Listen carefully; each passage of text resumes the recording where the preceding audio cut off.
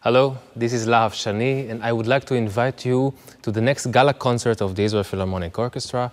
This time the concert is dedicated to the great Hans Zimmer. I've always admired this composer, and it was a great pleasure to play his music with my friends from the Israel Philharmonic Orchestra, and so it would be great to see you all there.